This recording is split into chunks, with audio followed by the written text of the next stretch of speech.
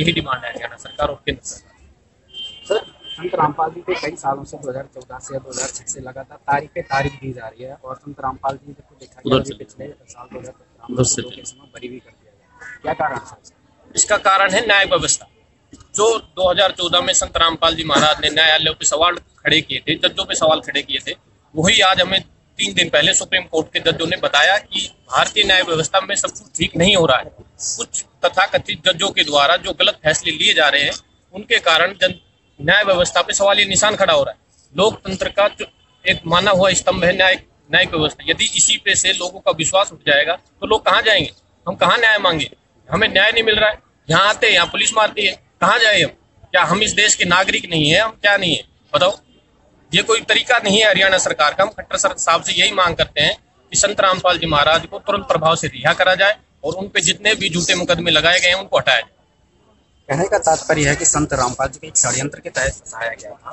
Sir जैसा कि आपने देखा होगा जिस तरह से संत रामपाल जी पर आरोप लगाए थे जैसा कि पिछले महीने हत्याकांड हुआ था जो गुड़गांव में हुआ था मर्डर किसी और ने किया था हरियाणा प्रशासन ने हरियाणा पुलिस ने एक ड्राइवर पर वो केस ठोककर सकारात्मक रुख नहीं तीन सालों के बाद सुनवाई के बाद दो केसों में संत रामपाल जी को 2017 सितंबर में उनको बरी किया गया था। अब आगे देखते हैं प्रक्रिया कब तक चलती है और भी यहाँ पर संत रामपाल के समर्थक हज़ारों की संख्या में उन सब की जुबानी सुनाते हैं।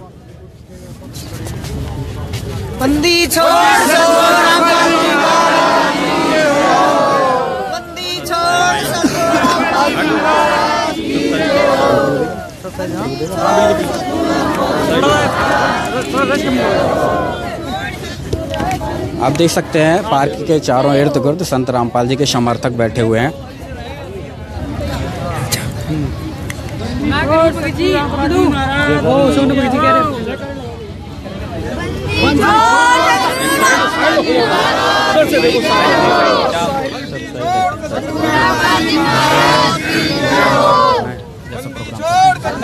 आसन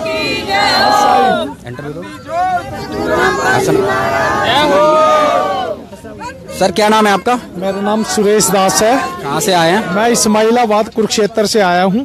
सर क्या कहना चाहेंगे? इतनी दूर से आप यहाँ पे आ रहे हैं तारीखों पे। क्या कारण है इसका? हमारे सब भक्ताओं की इच्छा है कि हमारे परमात्मा आज पेशी पे आ रहे हैं और हम परमात्मा के दर्शन करें और क्योंकि इनसे पूर्ण परमात्मा पूरी पृथ्वी पे नहीं है क्योंकि यही एक परमात्मा है जो इन दुष्ट लोगों ने जेल में किया हुआ है। हम भी जेल में रह के आए हैं लेकिन हमारे साथ कितने अन्याय किए हैं इन लोगों ने कितने अत्याचार किए हैं। आप किस केस में जेल में गए थे? मैं बरवाला आश्रम में हम अपने घर में थे और हमारे ऊपर चार सौ का मुकदमा नंबर दर्ज किया गया है। देशद्रोह की धाराएँ लाई गई हैं। और सब हमारे ऊपर धारा लगा के हमें जेल में गिरा गया। हम 20 महीने 9 दिन के बाद जेल से जमानत पे रिहा हुए हैं। तो जिस तरह का बर्ताव आपके साथ हरियाणा सरकार प्रशासन द्वारा किया क्या था उसका? बताएँगे थोड़ा। उसमें हमारी यही मांग थी कि हमारे गुरु जी के ऊपर कोई भी दो कोई भी ऐसी इन्होंने जो भी झूठे केस या झूठे मुकदमे बनाए हैं और इन मुकदमों पे कोई भी हमारा सच्चा कोई भी इन्होंने साबित नहीं किया है और ज़बरदस्ती हमें इन्होंने अंदर घेरा है और हमारे साथ बहुत गलत इन्होंने अन्याय किया है। हम, हमें इतना मारा गया, इतना पीटा गया, हमारी बहनें थी जो, उनको भी ज़बरदस्ती हमारे घरों के ऊपर, जैसे हम आश्रम में बैठे हैं, इन्होंने ज़बरदस्ती हमारे ऊपर गोले भी घेरे हैं, लाठियाँ भी बांधी पानी की भी बहुत फुहारे की और लेकिन फिर भी हमें ज़बरदस्ती ये लोग उठा के जेलों में ले गए और वहाँ पे हमारे बहुत गलत हमारे साथ व्यवहार किया इन्होंने। कहा जाता है कि जेल में जब बंद हो जाते हैं जब जेल में बंद हो जाते तो अंदर किसी की पिटाई नहीं होती क्या आपके अंदर वहाँ पर पिटाई की गई थी? मेरे जब मैं अंदर जेल में गया हम चार पाँच भक्त गए थे उस टाइम हमारे ऊपर कम से कम इन्होंने सौ सौ लाठियों से बहुत बुरी तरह हमें मारा और फिर उसके बाद अंदर मेडिकल में कर दिए हम और फिर उसके बाद सुबह मुलाजा हुआ दो दिन के बाद तब भी हमें बहुत मारा गया वहाँ पे। और पूरा मारने के बाद किसी को चक्कियों में गिर किसी को कहीं और खाना भी हमें समय से और कोई मेडिसिन, कोई दवाई हमें समय से नहीं दी गई। सीधे तौर पर कह सकते हैं कि संत रामपाल जी और उनके भक्तों पर लगातार आज भी अत्याचार किए जा रहे हैं। सरकार और प्रशासन की तरफ़ पर कोई भी सुनवाई नहीं की जा रही है। संत रामपाल जी के समर्थक यहाँ पर भी नहीं, जंतर मंतर पर सात सौ छिहत्तर दिनों तक न्याय की मांग करते करते खड़े हो गए, लेकिन कोई सुनवाई नहीं हुई। सबसे खतरनाक बात तो इस लोकतंत्र में ये हुआ कि जंतर मंतर से जो लोकतंत्र की आवाज़ थी, जो लोग आम इंसान न्याय माँगता है, वहाँ से आम जनता की आवाज़ को दबा दिया गया जंतर मंतर से भी हटा दिया गया था। सीधे तौर पर कह सकते हैं कि इस पक्ष में, इस जब बीजेपी सरकार या केंद्र सरकार ने यह धरना हटवा, हटाया, कोई भी विपक्षी दल इसके खिलाफ नहीं आया कि आखिर क्यों आम जनता की आवाज़ दबाई जा रही है। आज यहाँ पर देखिए, अपनी आवाज़ को बुलंद करते हुए संत रामपाल जी के समर्थक यहाँ पर आते हैं। हरियाणा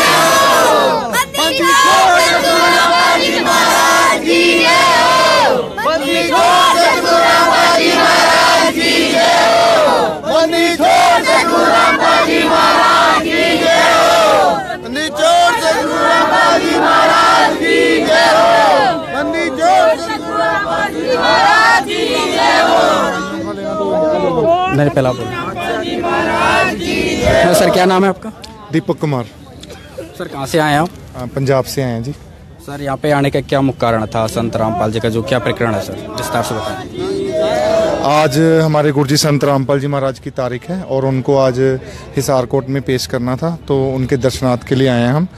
उनको हरियाणा सरकार ने झूठे केसों में फंसाया है। 2006 से ये केस चल रहे हैं और 2006 से ही हमने इनकी सीबीआई जाँच की, मांग भी की है, लेकिन वो सरकार ने पूरी नहीं की। अब तो संत रामपाल जी महाराज को हिसार कोर्ट ने दो केसों में बरी भी कर दिया है, जिससे साबित होता है कि उनको एक षड्यंत्र के तहत, झूठे केसों में सरकार के द्वारा फंसाया जा रहा है। क्योंकि न्यायपालिका में भी भ्रष्टाचार है और जो प्रशासन है, वो भी भ्रष्ट है।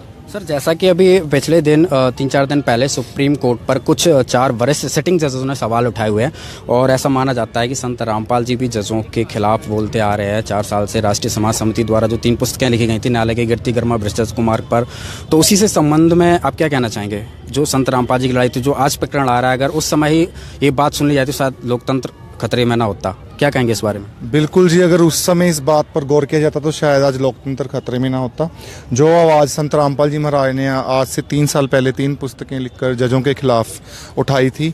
आज साबित होता है कि सुप्रीम कोर्ट के चार जजों ने जो चीफ चीफ जस्टिस हैं सुप्रीम कोर्ट के, मुख्य न्यायाधीश हैं, उनके खिलाफ आवाज़ उठाई है कि वो अपनी न्यायालय में मनमर्जी कर रहे हैं। न्यायालय में जो भी डिसीज़न देने हैं, उनको लेकर भी मनमर्जी कर रहे हैं और जो केस ट्रांसफ़र करने हैं जजिस को, उसको लेकर भी मनमर्जी कर रहे हैं। तो अब जो जब सुप्रीम कोर्ट के ही जो हमारे देश की सबसे बड़ी अदालत है, उसके ही चार मेन जजेस ने चीफ जस्टिस पर क्वेश्चन रेज किए हैं। तो आप समझ सकते हैं कि न्यायपालिका भी भ्रष्ट है और न्यायपालिका में भ्रष्टाचार है। इस भ्रष्टाचार के खिलाफ संत रामपाल जी महाराज ने आज से तीन साल पहले आवाज़ उठाई थी, जिसके परिणाम स्वरूप उन पर झूठे मुकदमे बनाकर उनको आज तक बिना किसी वजह से जेल में रखा हुआ है। तो यही कहना चाहेंगे कि सीधे तौर पर जो न्यायालय का जो आज भ्रष्टाचार उजागर हुआ है, संत रामपाल जी ने लोगों को सुझाव भी दिया था कि जो कोर्ट्स हैं उनमें ऑडियो और वीडियो रिकॉर्डिंग्स होनी चाहिए, जजों की जवाबदेही तय होनी चाहिए। क्योंकि आज तक अपने संविधान में जजों के लिए कोई जवाबदेही तय नहीं है। चाहे आप एक तारीख दो, चाहे सौ तारीख दो कंटिन्यू तारीख पे तारीख देते रहो, लेकिन कोई जवाबदेही नहीं है इस चीज़ की। तो इसी को लेकर ये जंग चल रही है। आज भारत भी जाग रहा है। लोग जो आज सुप्रीम कोर्ट के जजों ने जो मुद्दा उठाया था कि सुप्रीम कोर्ट में कुछ नहीं चला, आज वही स्थिति आप संत रामपाल जी के साथ देख सकते हैं। लगातार 2006 से लेकर संत रामपाल जी किसी भी मुकदमे में अभी तक न्याय नहीं मिल सका है। आखिर लोग इस देश में जो देश को लोक लोकतंत्र कहा जाता है इसमें लोगों को न्याय नहीं मिलेगा। सारी सारी उम्र उनको न्याय पाने में निकल जाती है तो, तो कैसे ये कब तक स्थिति चलेगी? हमारे बीच में और भी समर्थक संत रामपाल जी के आए हुए हैं उनसे जानेंगे आखिर उनकी क्या विचार है।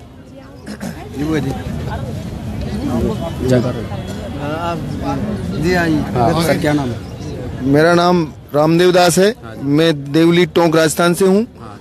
मैं परमात्मा के लिए दो शब्द कहना चाह रहा हूँ। जिस तरीके से सुप्रीम कोर्ट में चारों जजों ने सीजीआई के खिलाफ जो षड्यंत्र कर रहे थे, उसके खिलाफ जो आवाज़ उठाई है, उसी के तहत मैं सब प्रशासन से, सभी सरकारों से ये निवेदन करना चाहता हूँ कि हमारे परमात्मा की सीबीआई जाँच क्यों नहीं करवाई जाती है? सीबीआई जाँच कराने के बाद ही जो सत्य है, जो सामने आएगा। इसीलिए जितने जो आज की सरकारों के सामने सुप्रीम कोर्ट जैसे, सुप्रीम जिसको सब मानते हैं सरकार क्या सभी जो जो कुछ संविधान है सभी उसको मानते हैं। उसके बावजूद भी मतलब ना, उसका मतलब ये निर्णय नहीं निकल रहा है। चार जजों ने सीजीआई के खिलाफ जो सामने वो चार्जशीट प्रस्तुत की है उसको देखते हुए हमारे परमात्मा के जो खिलाफ जो षड्यंत्र लगाए हैं जो चार्ज लगाए हैं उनको खत्म करने चाहिए सीबीआई जाँच करवानी चाहिए। मतलब आपको लग रहा है कि आजकल न्यायपालिका में भी भ्रष्टाचार फैल चुका है पूरी तरह से? जी हाँ बिल्कुल बेल चुका है जिसका जी सामने प्रमाण है। चार जजों ने स्पष्ट मतलब उसके उनके खिलाफ आवाज़ उठाई है। हमारे बीच में कुछ और भी समर्थक हैं उनकी जुबानी सुनते हैं आखिर वो यहाँ पे क्यों आए क्या कारण है ये सारे मामले? क्या नाम है जी आपका? नमस्ते जी मेरा नाम मधु शर्मा है मैं चंडीगढ़ से आई हूँ। सर मैम जो आप यहाँ पे आज आए हुए हैं यहाँ पे देखने को मिल रहा है रोहतक के कोने कोने में संत रामपाल जी के समर्थक आए हुए हैं भारी सर्दी में आए हुए हैं बूढ़े बच्चे से लेकर सभी लोग आए हुए हैं क्या कारण है इसके आने का? सच सबसे बड़ा कारण है सच, क्योंकि सच के साथ पूरा समाज चलता है और संत रामपाल जी महाराज जी ने सच के खिलाफ आवाज़ उठाई। उसी का परिणाम ये है कि आज भारी संगत को यहाँ पर आना पड़ता है, न्याय की मांग करने के लिए आना पड़ता है, अपने संत, सच्चे संत के दर्शन करने के लिए इतनी दूर उन्हें यहाँ पर कष्ट उठाकर आना पड़ता है। और उसके बाद अगर आप देखेंगे बाहर जाकर के तो इतनी सारी फौज है, इतनी सारी पुलिस फोर्स है, किस लिए है? इस सवाल का जवाब मुझे कोई देगा? क्योंकि आप अगर देखें तो आज तक भी संत रामपाल महाराज जी के किसी भी किसी भी उनके उपदेशी ने आज तक कोई भी अन्याय नहीं किया, किसी को एक गाली तक नहीं दी। इतनी फौज के आने का क्या कारण है? मैं तो आपसे सवाल करना चाहूँगी, इस समाज से सवाल करना चाहूँगी, इस प्रशासन से सवाल करना चाहूँगी, इस देश से सवाल करना चाहूँगी कि इन सारे सवालों का जवाब हमें कब मिलेगा?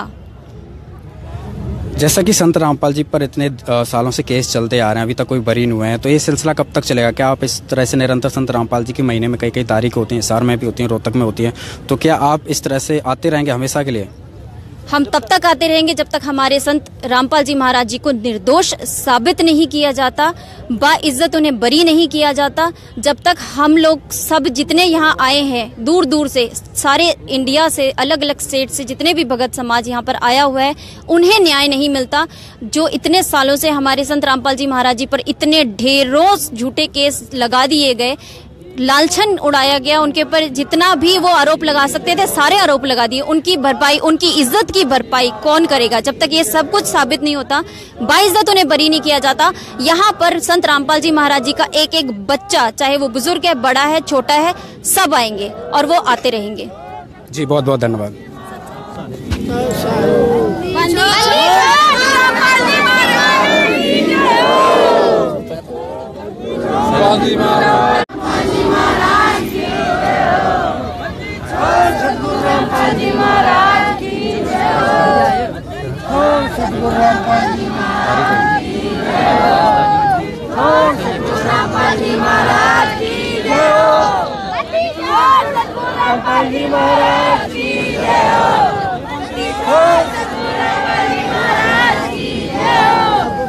आप पार्क के चारों तरफ़ का नज़ारा देख सकते हैं। संत के समर्थक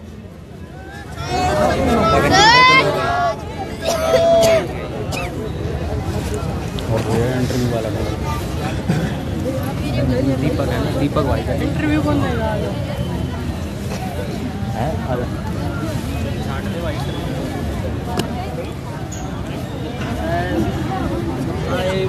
ये नज़ारा रोहतक का ही नहीं है बल्कि संत रामपाल जी की जब भी पेशी हिसार में भी होती है तो संत रामपाल जी के समर्थक वहाँ पर हज़ारों की संख्या में पहुँचते हैं। आखिर इसका क्या कारण है? शायद हिंदुस्तान में कोई ऐसा पहला शख्स या कोई पहला व्यक्ति या कोई ऐसा संत है जो जेल में है और उसके समर्थक या उसको देखने के लिए लोग लाखों की संख्या में लोग सड़कों पर उतर उतर पड़ते हैं।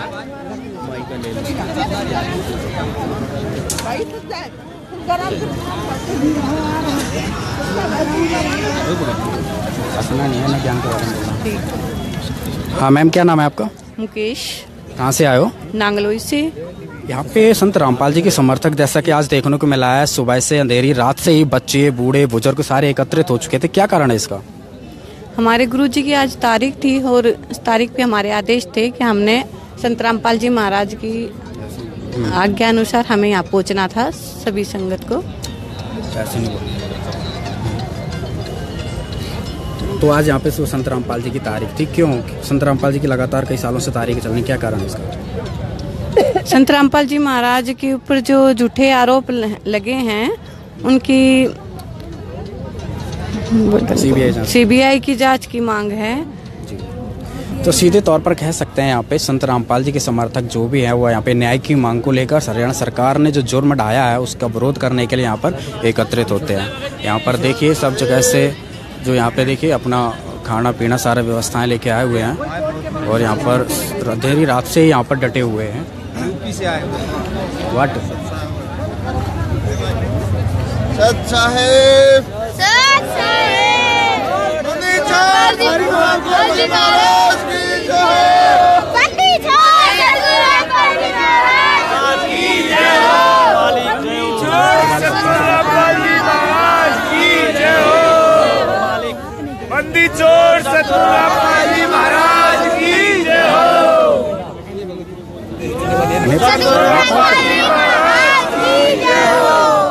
बंदी छोड़ सतगुरु रामपाल जी महाराज की जय हो।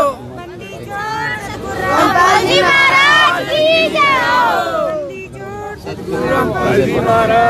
जैसा कि देखने को मिल रहा है संत रामपाल जी की तारीख पर लोग इस देश से नहीं विदेशों से भी लोग यहाँ पर आते हैं आइए जानते हैं। क्या नाम है सर आपका? उमेश दास। कहाँ से आए हैं? मैं नेपाल से आया हूँ। सर, नेपाल से यहाँ आने का संत रामपाल जी की तारीख पर आने पे या संत रामपाल जी के क्या कारण है? क्यों आते हैं सर? परमात्मा, एक तो परमात्मा गॉड इज़ कबीर, परमात्मा कबीर, परमात्मा राम, रामपाल जी महाराज जी है। मैंने पहले एब्रोड दुबई में भी, विदेश में भी जॉब जॉब किया, लेकिन मेरे को कभी भी सुख शांति नहीं मिला, कभी भी दिल में सुख शांति नहीं मिला। लेकिन परमात्मा के शरण में आने से अभी इतना खुश मिला है, जब भी आज अच्छा मिला है, अभी नोएडा में जॉब कर रहा हूँ। मेरे को बहुत खुश हूँ और इससे ज़्यादा खुश होने का जगह ही नहीं है।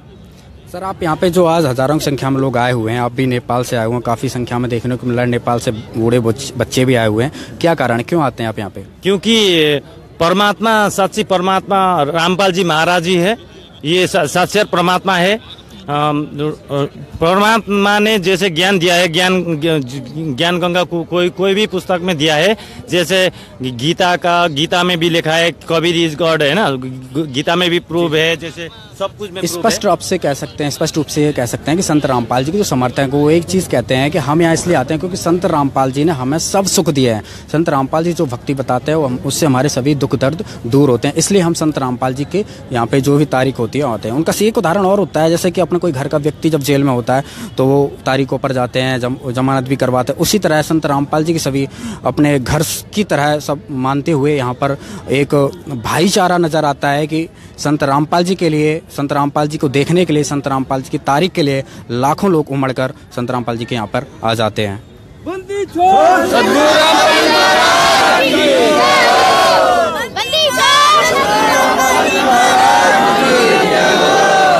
बंदी छोड़ सतगुरु रामपाल जी महाराज की जय वेदों में प्रमाण है वेदों में प्रमाण है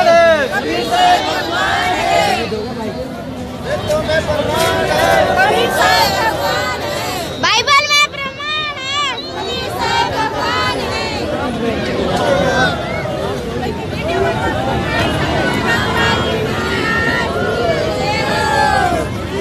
आप देखिए बड़ी सर्दी में छोटे छोटे बच्चे बुज़ुर्ग सभी यहाँ पर बैठे हुए हैं।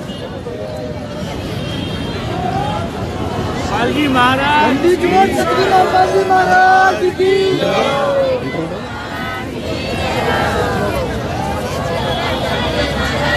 रामपाल जी महाराज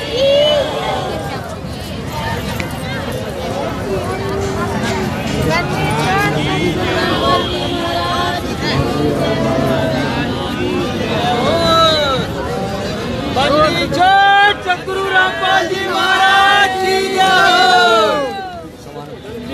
सतगुरु रामपाल जी महाराज जब भी संत रामपाल जी के समर्थक हिसार में आते हैं, एक तरह से मेला सा लग जाता है, जो यहाँ के रोज़गार वाले होते हैं, जैसे कि टेंपू है या फिर कोई दुकान वाला है, वो बहुत खुश हो जाते हैं क्योंकि यहाँ पे हज़ारों की संख्या में आते हैं तो उनकी उनको भी फ़ायदा इस चीज़ से होने लगता है रामपाल जी महाराज की जय बंदी छोड़ सतगुरु महाराज की जय बंदी छोड़ सतगुरु रामपाल जी